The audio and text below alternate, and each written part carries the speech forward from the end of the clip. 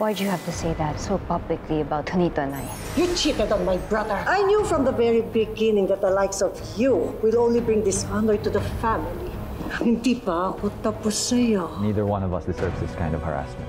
I just want you to know na hindi pa rin magbabago ang pagtrato ko sa'yo kahit na wala na tayo. This is the final test of destiny sa mga pusong naliligaw. Mikoy, congratulations. At naway, magsama kayo na masaya. I left my heart in Sorsogon, the finale.